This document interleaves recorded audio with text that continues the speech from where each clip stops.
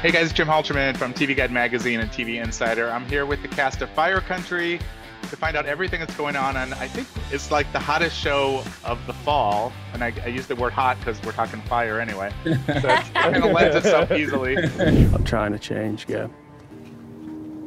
I, I really am for you. Stop trying to impress me. You want to change?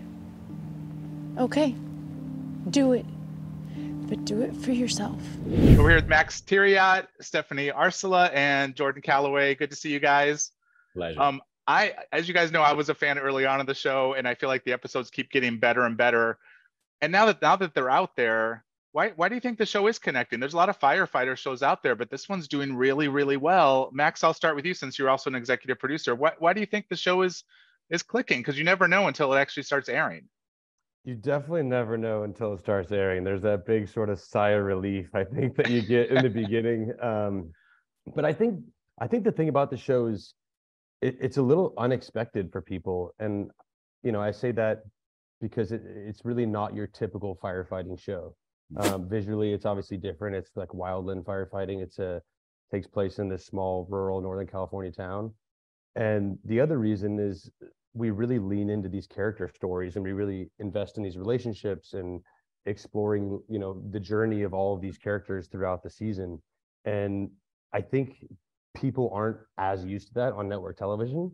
Um, and so i think it's sort of this refreshing like you get this new look at firefighting and you get to follow these characters on this journey. So i think that's kind of the big thing that's that's hooking people into to, to wanting to be along for the ride if I can jump in just off of your coattail, Max, uh, I think also the other aspect of that is the uh, redemptive uh, story that we're showing. You know, it's the other side of those heroes that are in the uh, um, working the system, trying to show that they are heroes, trying to see and really find their own identity. I think that's one of the things that when I read the pilot, that's one of the things that I love the most. And even just talking with Max about it too, it's like you you have a show where you're actually showing prisoners that are getting a second chance that are trying to make something of their life.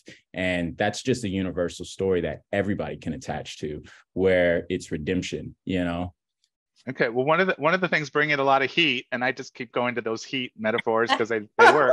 They work very well is this love triangle between the three of you. And from what viewers have seen recently, you know, we know Gabriela did break up with Jake, and maybe she's going to gravitate to Bode. We don't know yet, but I want to ask Jordan first: Is is Jake just to be okay with that, or is he to maybe still come around and maybe fight for her? Well, you know, I think one of the things that you, yeah, I, I definitely think that you're going to see that with Jake. He's going to give a he's going to give a little bit of a fight, but I think you know from what we filmed and also where we've gone in the show now, it's also not just um, the relationship between Jake and Gabriela, but also the relationship between Jake and Bode, who is his best yeah. friend, who's his brother.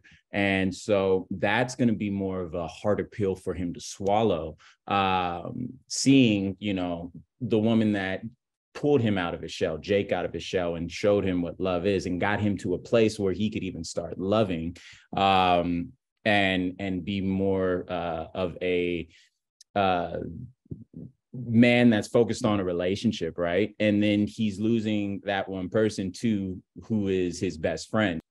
Yeah, Ste- Stephanie, will Gabriela just automatically go right to Bode, or is there some stuff she has to work on herself because she's going through her own personal stuff? Yeah, I don't, I don't think so. I think you know, I think what it is, the, the whole relationship with Jake and Gabriela was really beautiful in the sense of like, I feel like they were both finding each other. You know, I can only speak for Gabriela, but that's what I feel that they were both finding themselves and finding who they are in this new, completely, at least for Gabriela, in this new lifestyle, right? She's used to diving and being in her own world now. And now she's being thrown into a world where she's just used to visiting normally you know she visits because she visits her dad and now she's living in it and trying to create and get to know herself as as a woman in a whole different scenario you know with people that know her more than she knows them. Um so i think um gabriela is i think she's very daring and very and she's a very much of a go-getter in life and she's trying to allow herself to just you know flow into these circumstances that do make her happy but also like with caution and being kind of you know emo- as emotionally intelligent as she can be within what she's lived and where she's been. Matt, max what's your take on all this? Where bode's coming from? Um well you know i think this show right this show's really about complex characters and complex relationships and complex situations and that's really like kind of what this this love triangle is right? It's you know you already have this relationship between jake and bode that's you know it's it, they're they're really trying to mend this this this past and and the stuff that they've gone through together. And um like jordan said like these guys really grew up being best friends. And so yeah. you you're already kind of thrown into this complex situation where they're trying to deal with their past and their issues hmm. and then now all of a sudden like you add gabriela to to that and you know from the beginning you kind of see that that gabriela and bode sort of have this magnetic sort of connection between the two of them and you know and i don't know if if either one of them like wanted this from the beginning but it's like this undeniable sort of thing that they're they're they've been trying to fight and they're they're sort of losing the fight this uh this this love triangle is definitely definitely going to be a, a good one to explore for a long time that's good and i know this is your first tv guide magazine cover is this the first cover for the show this is the first cover for the show Ah, congratulations, Jim. What is, what does that mean to you guys? Because it is like a nice nice validation, maybe. I don't know what. How do you guys feel about Max? Start with you, dude. It's huge. I was like, I was I was like a giddy little kid, like waking up on Christmas when I got the email about this. I mean, this is kind of like the thing you always dream of. I think getting the the cover of the magazine is um, it's it's like it's a huge milestone for us and a, a major achievement that you know i'm excited to celebrate that not only with our entire cast, but also our crew, because these people work their butts off, and yeah, you know, it takes a village.